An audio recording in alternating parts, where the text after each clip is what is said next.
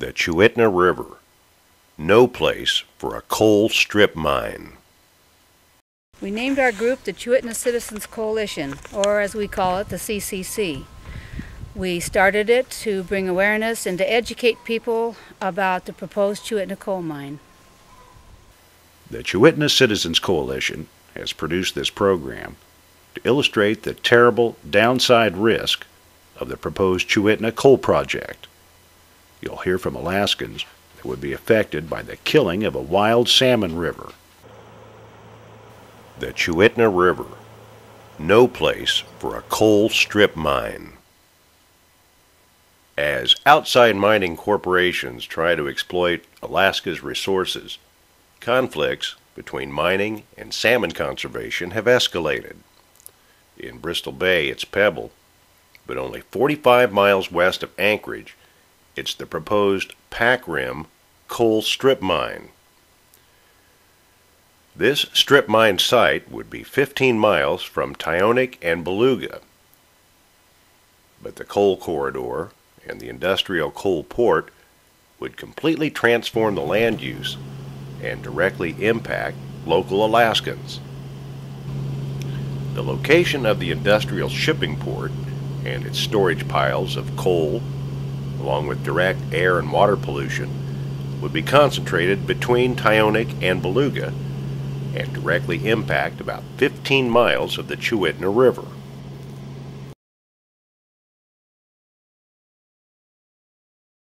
I'm a fisheries biologist, I've been a fisheries research biologist, I've worked in fish culture, uh, I've done uh, research on habitat related things, and I also was regional supervisor.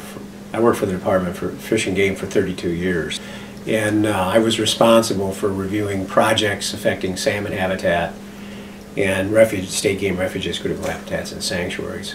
And in that uh, capacity, I my region reviewed literally tens of thousands of mining projects, large and small projects, uh, in that whole area, including the Chuitna, the proposed Chuitna coal mine back in the 80s, uh, when they proposed to go with it and then sort of dropped it. You know. But I'll say we've learned a tremendous amount since those days about the feasibility of restoring salmon habitat. You know, one of the things you have to understand is that uh, the state uh, really is very kind of ill prepared to deal with projects of this type because it requires specialists like Margaret Palmer who spent their whole life working on this. Not somebody that has to review a thousand projects a year. I mean, 500, a thousand projects a year. Everything ranging from you know culverts under streams to you know large mines. And you cannot. These are very specialized projects with specialized sets of knowledge, and it's not taught in college. And you know the people with the state, particularly the Department of Fish and Game, was concerned is fish just doesn't have that information, you know. Lance Trasky recently testified before an Alaska Senate committee on the Chuitna project, along with Dr. Margaret Palmer, professor at the University of Maryland. Dr. Palmer told the senators there's no evidence that the reclamation of streams and wetlands at the Chuitna site is feasible at any cost. I don't think it's possible. There's no, no question about it. I mean, they'd remove one entire tributary, I think it's stream 2003, the whole drainage down to a depth of 300 feet. The whole thing, all, it would be all gone, and including parts of two other major salmon producing tributaries.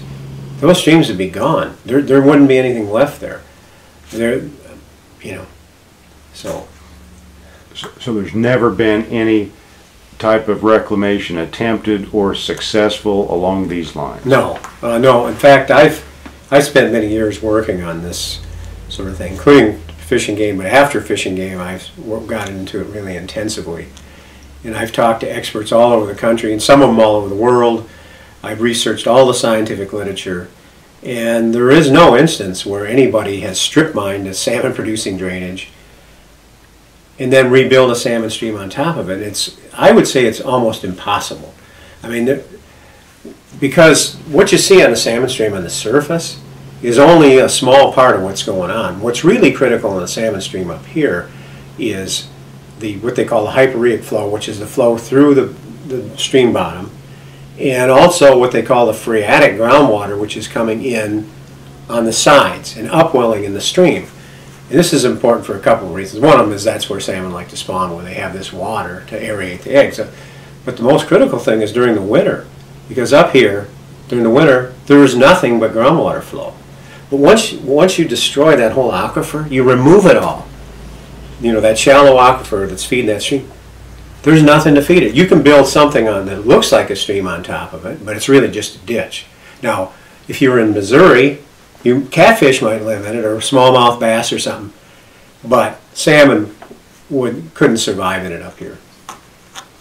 Well, what what we've learned now in recent years, and like I say, we've learned a tremendous amount since this mine was proposed, and even recently. Two things really drive these salmon streams up here, because you know, this really isn't very productive country. I mean, if, you, if you're from Kansas or Missouri, you know how many deer there are per square mile down there and everything else. You know, there's like 40,000 moose in the whole state of Alaska, something like that. You know, so it isn't very productive, but what drives these systems is the marine drive nutrients, which is what the salmon bring in. All these, they go out as a little fry, they come back as big fish, and the ones that make it up there, they die, and all that nutrients from that salmon, it's like manure, they rot, and it's in the perfect uh, formulation to provide new fish. So that stuff builds up over the years, and it's not only in the stream, but it's in the it's in the uh, vegetation and stuff because it's carried off by. So you've got this whole tider of nutrients build up over the years, like the prairie got thicker and thicker. Well, these streams have gotten more and more productive because of that. The other thing that drives them is uh, um, nutrients from wetlands and you've been over there, you know how wet that is. The whole thing is a big wetland. So all that stuff, that vegetation, it takes, you know, that oxygen and nitrogen and carbon dioxide and makes essentially food for that stream, and then it decays and washes down in the stream. Once you remove all those wetlands, and this will, they'll be gone, and you remove all the marine drive nutrients because you've taken the stream and the whole drainage, it's it's depauperate. There's nothing there's nothing there to feed that stream anymore. Now, you, you can say, well, maybe you come in and fertilize it or rebuild wetlands. People haven't been very successful building, rebuilding wetlands on that kind of scale. Even it's been difficult because we've tried it to build small wetlands. It's been very difficult to be successful, but not 8,000 acres or 12,000 acres, is, which is what they would have to do. I mean, it's an incredible task. I mean, they're taking this mountain valley, digging it down to 300 feet, removing all the stuff, dumping it back in the hole, you know, and all that structure and those layers and stuff all gone, it's all mixed up. And then building a stream on top of it. I mean, to the uninformed, it may seem, wow, you know, you just build a, you could line it with concrete or something, the water run down it, you know. Wouldn't work for salmon. It, there, it's a very, very complex situation. I think there's literally hundreds of thousands of streams in Alaska. I mean, literally hundreds of thousands of streams. But there's only something like 20,000 that actually support salmon. And that's because they have all these characteristics that make it successful. And the other ones don't. I, and I share that opinion. There's nothing anywhere to indicate that, that this would be successful. If you tried it, you might have to redo it a bunch of times to try to get it to work. And it would make the mine, and there's no guarantee of success even then but it'd make the mine economic, uneconomical. They couldn't, you know, couldn't afford to do it because you'd have you have to construct these uh, shallow aquifers, and all this stuff is settling at the same time, and the stream is cutting, and it's just, you know, God laid it down that way, and you're not going to be able to put it back that way. It's it's it's like it's like the sending a, a uh, mission to Mars, only maybe even more difficult because you don't have the money to do it. I mean, you can't justify it. We local Alaskans have a major choice to make in developing our resources. Should we maintain and support our renewable wild salmon and the untainted environment they need to thrive in? Or should we choose short-term gains and allow industrial strip mining to directly mine through the streams that are critical to their survival? Is it even possible to restore a system of wetlands and streams to pre-mining conditions? My name is Ward Grant, and I know this area intimately. In the 1940s, my father, Frank Grant, first settled in the Beluga area on the west side of Cook Inlet. His new family soon followed. In 1950, Dad purchased fishing sites on Three Mile Beach. It is the very beach that Pac Rim wishes to place its energy port for offloading the coal harvested from the Chuitna strip mine. To dig up to 400 feet in any dry area, like Montana or Kansas, there would remain a sterile area that looks like this old mine site in southeast Kansas. However, to dig up to 400 feet deep in Alaska bogs, wetlands, and salmon streams has a completely different outcome because of all the water displaced by that size of a pit. Now, I'm one of the few summer residents that's actually set foot in the proposed mine area. It's an area 20 miles beyond the end of the road system here, and uh, I used to go up there and guard people that were doing survey work in the mine area, some people doing drilling samples and uh, water and plant sampling. And uh, it's such a wild area up there, they didn't want to send the crews up uh, without having an armed guard with them. And so we'd ride in with helicopters each day, and uh, I'd stand by with uh, all the necessary safety equipment to make sure that the survey people could get their job done without being worrying, worrying about large animals. It's uh, about uh, 1,500 feet altitude above sea level, and the best way to describe it is it's a swamp, a series of interconnecting swamps that filters the snow melt uh, that comes from the Alaska range up where Mount Spur is. And uh, it's part of nature's way of filtering that snow melt into the river valleys uh, to where the rivers come out just about crystal clear. The proposal is to take about a six square mile area and excavate it down about 400 feet. Now it's already swampy to start with, and these swamps are interconnecting, heading toward the sea, all of them. There's no way you can build a pit that big without diverting the water that it gathers somewhere else. This is going to end up in the Chuitna River, and that's going to change the flow of the river. It's going to change the volume of the river. It's going to change the pH. And I don't care how many containment ponds you put together to try to keep it back. If uh, there's a great big flood, if there's a major earthquake, or a volcanic eruption, there's very little man can do to hold back that kind of water. And the consequences are very, very poor for the Chuitna River and for the beach just outside the Chuitna River. Commercial fishing and sport fishing has just about finished up for the season. Uh, the dories have been parked and uh, getting ready for uh, the opener uh, next summer.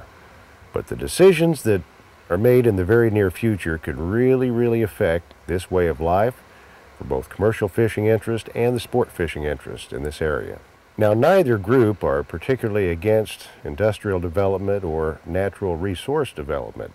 We all have a really high opinion of the other industries that are currently operating in the area that don't harm the environment. We're not against industrial development because we share this area already with a power plant, Chugach Electric, from ENSTAR, a major pipeline distributor of the gas that's produced in this area, and Chevron and ConocoPhillips are all active producers and very good neighbors here on West Cook Inlet. And uh, we really think that uh, the coal development in this area is counterproductive to the natural resources that uh, we're developing here, which include salmon out of Cook Inlet and salmon out of the rivers What do you got there, Eddie? silver salmon.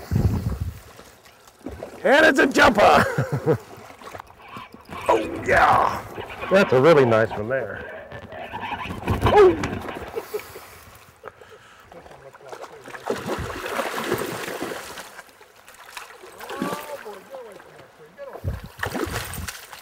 This is a beautiful fish.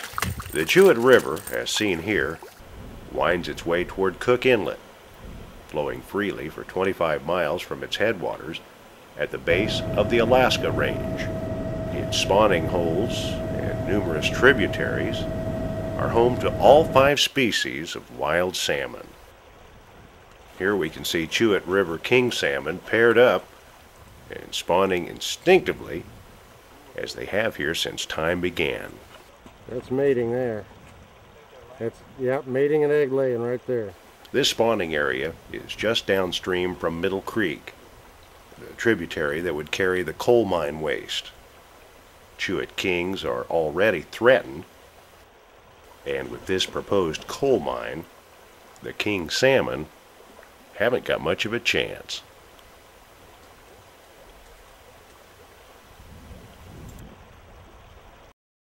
We're not the only ones depending on food from the Chewett. The river valley and the beach is also home to Alaska's coastal brown bears. These bears and birds have depended on migrating salmon more years than I can count.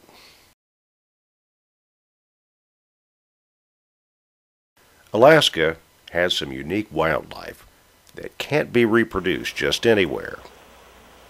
Reclaiming a dead salmon stream isn't like restocking other fish into a pond. Salmon's unique life cycle requires pristine spawning grounds just like the Chewett. Reclaiming a dead salmon river is a much bigger task than spreading around topsoil over the scars left on the land. Dirty coal for Asia at the expense of our salmon and way of life? I don't think so. And I hope you agree. We think it's important to keep the Chewett wild. Walking these banks between the natural resting pools needs to be preserved for future generations. I guarantee that any sport fisherman that ventures way out here loves nature and hopes they're not the last generation of people to enjoy the Chewett the way it was.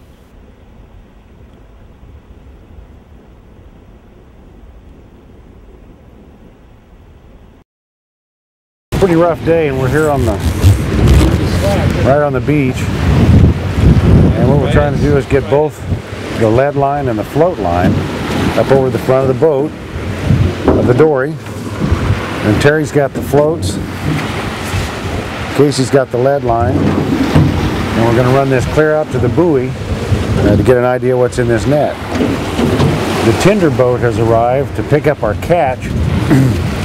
so uh, we want to make one final pull here, get the fresh salmon out of the net, and uh, off to the tender boat, to the processor, and on to market. This is a gill net, and the fish swim into it and get their gills caught in it.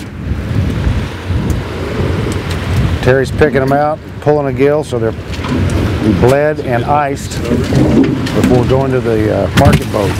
Some days when you're out here doing this, it's real calm. Other days, gets a little more interesting. It's a pretty tough job being on a moving boat like this. It's pretty slick, handling fish and pulling nets. It's a lot of work. Here's a nice, nice silver. Very nice. Okay, here's a bigger one. This is a male silver, and you can see the the hook nose. This one's certainly a male.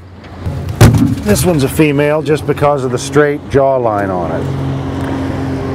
And this one's probably full of full of eggs and was headed for the river when it hit this net.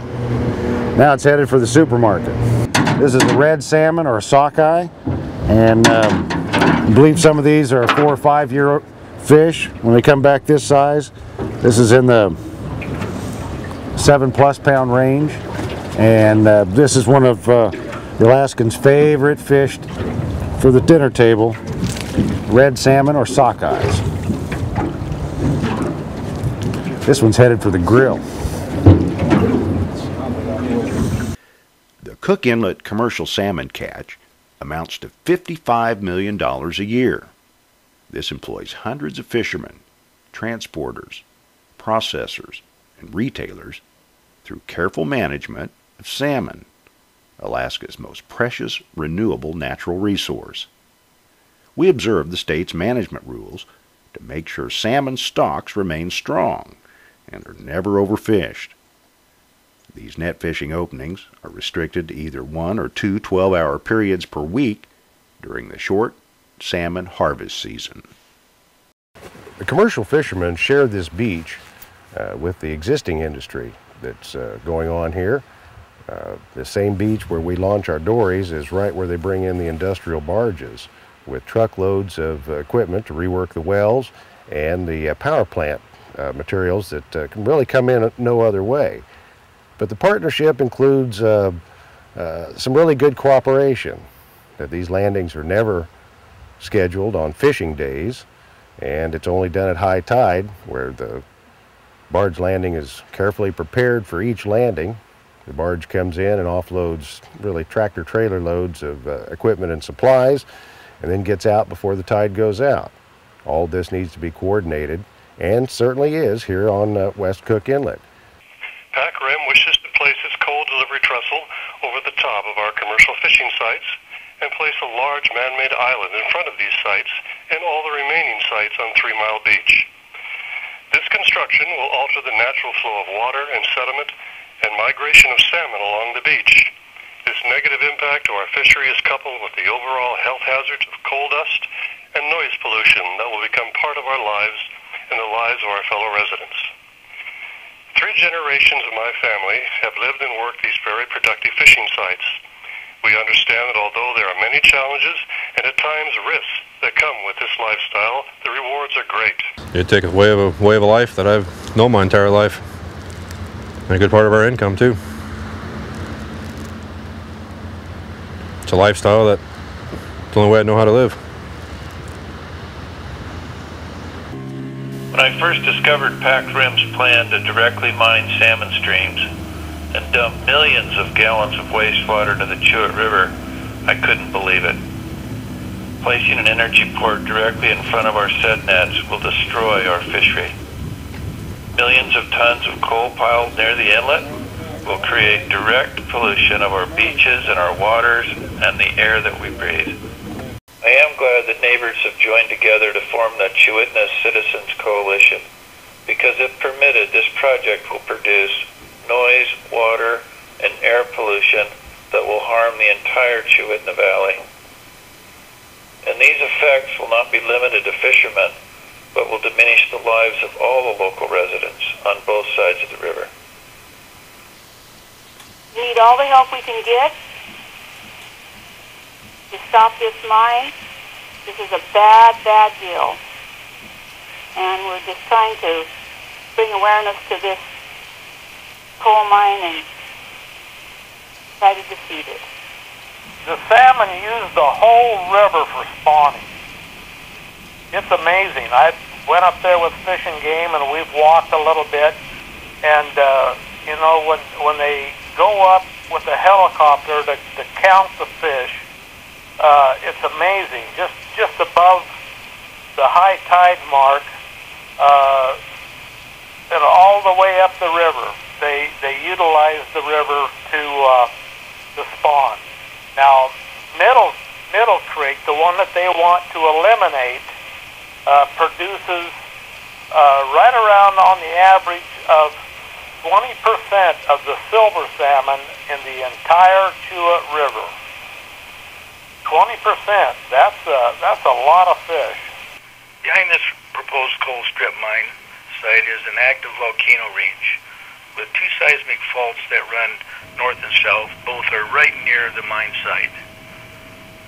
What I've witnessed with the volcanoes heat up, there are hot spots in the wetlands and surrounding lakes.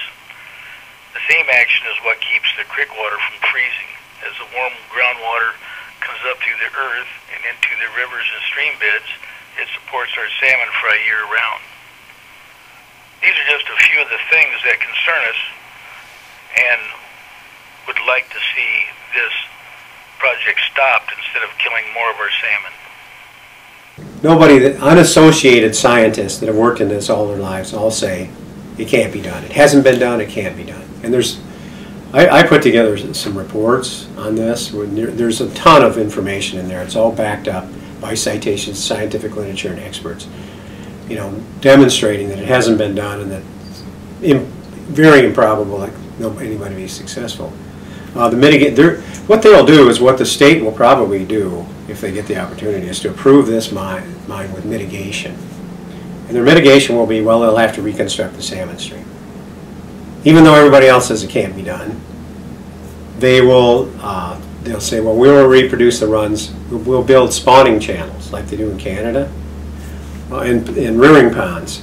But I don't think that'll work.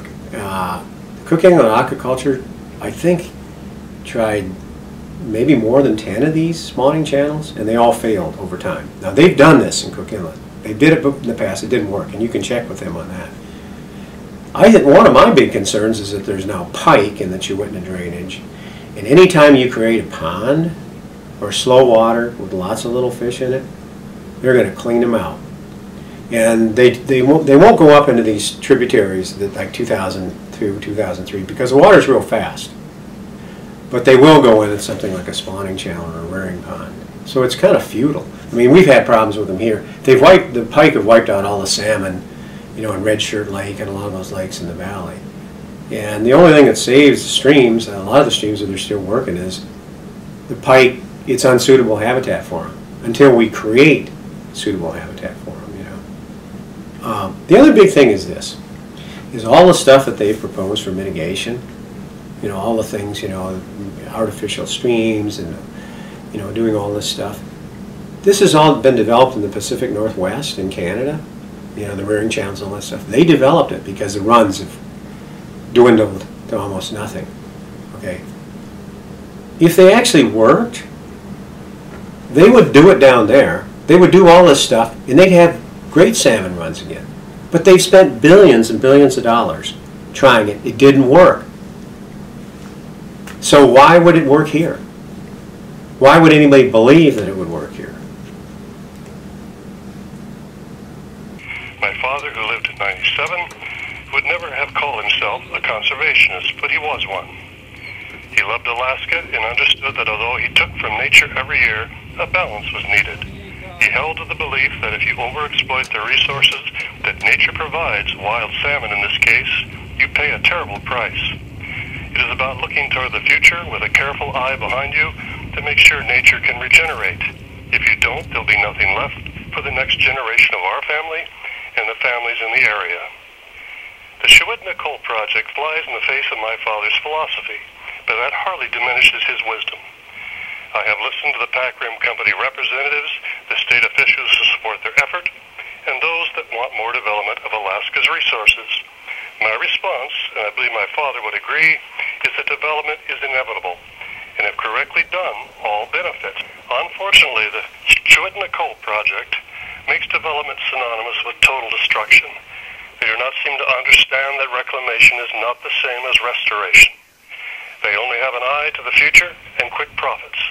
Despite what is promised, there is no looking back by this project to a regeneration of nature. The unbiased, peer-reviewed science that has been presented shows this clearly. In summation, the Coal Project is a very bad idea. More than just the physical changes to the watershed, we're also worried about the health aspects of living next to a coal strip mine. During every step of the strip mining project, coal dust will be carried by the winds. That includes digging, hauling, grinding, transporting coal chips on the conveyor to the stockpiles near the beach, and then to the artificial island at Ladd Landing, later to be loaded on ships two miles out in, into Cook Inlet. The whole area, including the beach, duck flats, and nearby commercial set-net fishing sites will be black. Pollutants from coal adversely affect all major organs of the body and contribute to four of the five leading causes of death in the United States. Coal dust causes diseases of the lungs, including chronic bronchitis, emphysema, pneumonia, and black lung. Current medical studies also show that it causes heart disease, premature death, and many types of cancer. I don't understand how our government agencies can justify destroying this area's people, salmon, wildlife, clean water, and air just to enrich outsiders by mining through salmon streams and shipping dirty coal to China. Hope you enjoyed the video. Here's what you can do to help save this and other healthy wild Alaska salmon streams. Go to our website at www www.chuitna.org. There you'll find a link to Governor Parnell. Write to him and demand that he keep his promise to not trade one resource for another. Don't trade away our wild salmon to dig coal to ship to and support China's economy with the loss of ours. Send letters to the editors of local newspapers to help us get the word out. Our wild salmon can last forever if Pac Rim doesn't mine through and destroy their habitat. Thank you for watching, and remember that it's not too late to make a difference. Join us and let your voice be heard.